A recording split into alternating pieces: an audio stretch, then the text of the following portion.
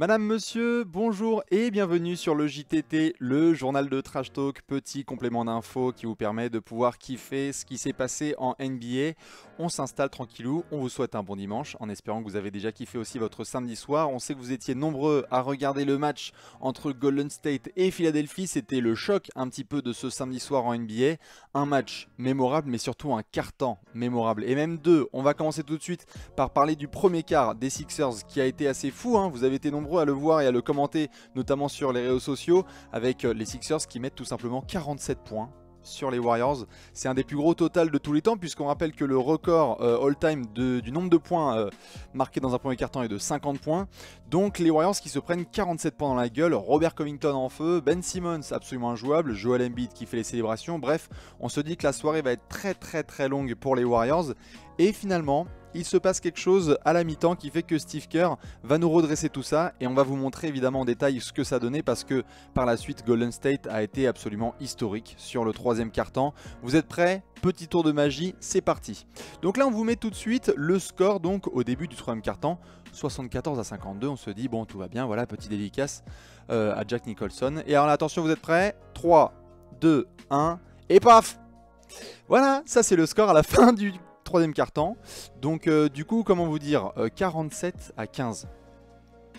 47 à 15. Plus 32 points sur le troisième quart-temps des Warriors. C'est tout simplement à égalité le plus gros écart de tous les temps sur un troisième quart. Jamais il y avait eu sur ces 60 dernières années un plus 32 sur un troisième quart-temps. Du coup, le Wells Fargo Center qui était absolument en feu en première mi-temps se transforme en véritable cimetière. Euh, Stephen Curry qui est au centre des opérations pendant ce quart-temps, c'est simple. Le chef, on vous montre ses statistiques tout de suite. Il met 20 points sur ce troisième quart-temps, 20 de ses 35 points. Et donc, à lui seul, il bat les Sixers, puisque les Sixers n'ont mis que 15 points sur le troisième quart-temps. Steph, on peut le rajouter, 5 rebonds, 5 passes, des pourcentages assez corrects. Euh, pour lui, évidemment, on le sait, c'est la base, hein, des cartons à 20 points. C'est son deuxième match seulement de la saison à plus de 35 points à Steph Curry. On sait qu'il est beaucoup plus dans la distribution et dans le calme en ce moment. Il n'avait pas été bon à Boston, donc il fallait absolument qu'il se rattrape.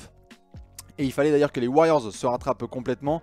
Donc c'est réussi de la part des copains de Draymond Green. Euh, le match est remporté hein, euh, par Golden State euh, au, final. Puisque les Sixers, même s'ils se sont bien battus, sont obligés de s'incliner. Beau match de Ben Simmons, de Joel Embiid, de Robert Covington, de Dario Saric, de JJ Redick et toute la compagnie. Mais malheureusement, l'expérience du champion en titre a payé. Et donc surtout ce carton absolument mémorable, 47 à 15. Ça, on s'en souviendra pendant pas mal de temps. Puisque c'est assez rare quand même de voir des plus 32 sur un seul quart en NBA. Euh, voilà un petit peu pour le main event de, cette soirée NBA. Alors on sait que vous avez été nombreux à réagir et on a hâte d'avoir vos commentaires euh, là-dessus hein, puisque le match était diffusé sur Beansport. Pour la suite des opérations, on retient back-to-back pour Golden State. Il joue ce soir euh, à Brooklyn.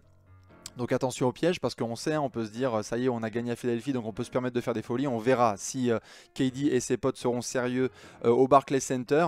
On verra aussi si les Sixers seront capables de se reprendre après cette euh, petite défaite parce qu'ils avaient été très très bons en déplacement et on en avait parlé notamment du côté de Los Angeles hein, avec la victoire chez les Clippers et chez les Lakers. Beau combat, beau duel, belle petite preuve de maturité de la part des Sixers mais tu es obligé de t'incliner face à la puissance du champion à titre et donc ce record qu'on retiendra un petit peu, hein, donc 47 à 15 dans le troisième quart-temps.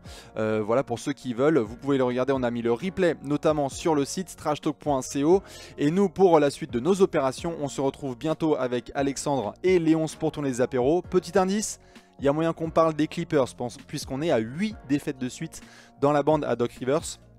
On verra ce que ça va donner s'il sera encore là la prochaine fois qu'on tourne ensemble.